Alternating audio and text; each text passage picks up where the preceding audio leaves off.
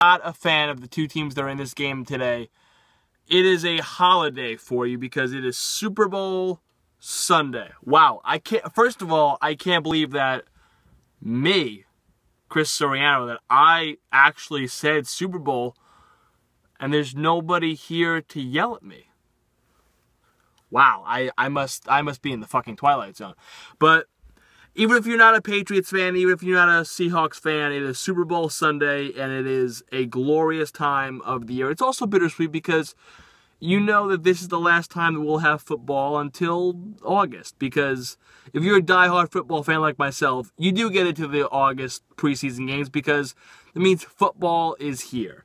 But a happy day today. It is the Super Bowl, and if, especially if you're a Patriots or a Seahawks fan, it is come full circle for you. If not, and you're still a football fan, hey, it's a game. Uh, some people will be working the game today. Some people will be partying. Some people will be having people over the house watching the game. And it's just something that America kind of bonds over Super Bowl Sunday. And I don't know about you, but I'm looking forward to a Katy Perry wardrobe malfunction. Wouldn't that be great? Oh my god. Those fucking tits hanging out. Whew. On NBC. Yeah, baby. Al Michaels, do you believe in miracles? We've seen Katy Perry's breasts on live television. Um, but I digress. Who is going to win Super Bowl 49? A very tough game. And people say, no, it's not, Chris. It should be Seahawks all the way.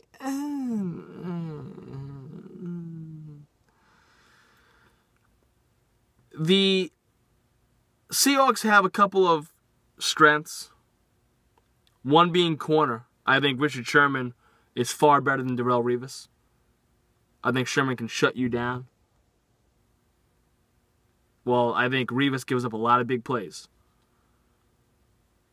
Sherman has a lot more interceptions than Revis does the last couple years. Quarterback, you got to go with the Patriots with Brady. That's an edge with the Patriots. Coaching, Patriots. Kicking, special teams, give it to Seattle. So it's it's evenly matched. Now, I know a lot of people said, "Hey, you know, there's no way that the Patriots can go far because that defense is horrible. That defense has stepped it up. After that loss to Kansas City, they've stepped it up. And the Patriots are playing pretty well right now.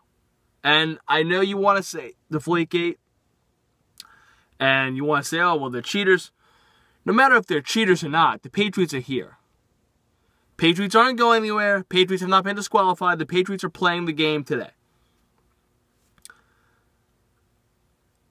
it's been a long time since the Patriots have won a Super Bowl and have hoisted a Lombardi trophy. It's been a long time. Last time the Patriots were in Arizona, a person by the name of Eli Manning was driving down the field and leading the New York football Giants to a Super Bowl win, ending the Patriots' perfect season. Kam Chancellor he's probable. Richard Sherman, we don't know if he'll play. He may have a kid. The Seahawks have said they respect Richard Sherman's decision to play or not, whether he has the baby, whether his wife has the baby or not. But I'm not even factoring any of that in. I'm factoring that I feel that the Patriots need this more. Belichick knows that. Brady knows that. Belichick's getting older. Brady's getting older. At what point do you say, I think this is close to being over?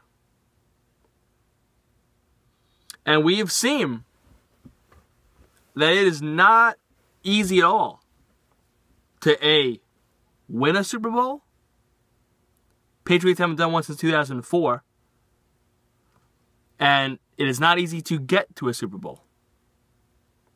They've only been to a handful since 2004. Two. Two losses to the Giants. So, I think Brady and Belichick are going into and this is not a knock on the Seahawks because the Seahawks have a distinction of being back-to-back champions and kind of starting up a dynasty similar to what the Patriots started years ago. And if the Seahawks do win this tomorrow, or today, excuse me, later today, if the Seahawks do win this today, then you will see the passing of the torch. And there's a new dynasty in town. But I don't think that's going to happen. I am, since I started on radio picking Super Bowls, I am four and one. My one loss was last year. I picked the Broncos over Seattle. I'm picking against Seattle again. And this is not anything against them. Seahawks fans probably saying, Chris, you haven't picked my team to win a Super Bowl in each of the two years that they've been in it. Well, listen, they were going up against Peyton Manning last year. I thought, hey, Peyton's gonna Peyton's gonna pull this off, maybe. And Seattle wasn't as hyped as they were this year. Big mistake last year, but they're going up against Tom Brady. And for those of you who don't think that Tom Brady needs this, oh, he, oh, he's got his, he's got his three rings. Tom's fine. No, no. Look at Jeter in baseball. Jeter was winning title after title. He won four titles from 96 to 2000. From 2001 until 2014, one championship. One. You don't think that stings a ball player? A ball player that started off early in his career with nothing but championships and to have a drought? It stings. It burns you. I'm going today. Final score Patriots 24. Seahawks 20 in Super Bowl 49. I will be rooting for me to drop to 4 and 2 since I've been picking games on the radio and on TV. But just something about the Patriots, you know, this whole thing with Deflategate and everything, and uh, I guarantee you they have that the world, it, you know, it's it's us against the world mentality, kind of like what the Jets had in their playoff run a couple years ago when they were going to back-to-back AFC title games. And trust me, as a coach, well, not nearly as a coach in, in professional sports, but as a coach on the local scene in Staten Island, I've used that us against the world mentality a lot. And it does work. It does work. If you can motivate your guys enough to believe, and it's not anything to believe, the whole world hates the Patriots. Kraft feels like Goodell didn't even step up for them. And they're buddy buddy. So I think the Patriots do have that us against the world mentality. And I think Brady and Belichick and I think for the last time, because I, I, I think it's starting to get where this could be it for them in terms of winning it all.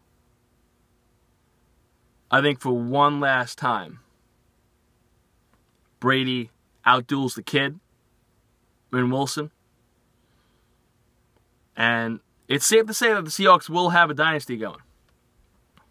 And hey, two two trips to the Super Bowl in a row is close enough. But Tom Brady will say tomorrow, hey, Russell.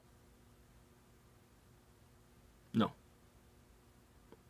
You're not going back to back yet. I got to get one more. So today, in Super Bowl 49, in the league where they play for pay, Patriots 24.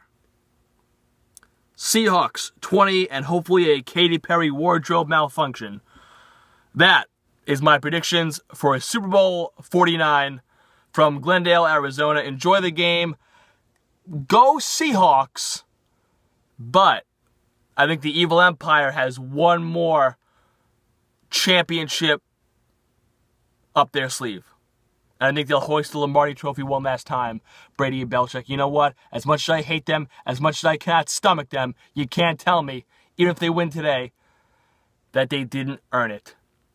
I hate the Patriots. I despise the Patriots. But I respect the Patriots. And no matter what people say about the Deflategate and this and that and cheaters, bottom line is they've won. My teams haven't. They have. And I respect them. I respect the New England Patriots. Patriots 24, Seahawks 20. Enjoy Super Bowl 49 today.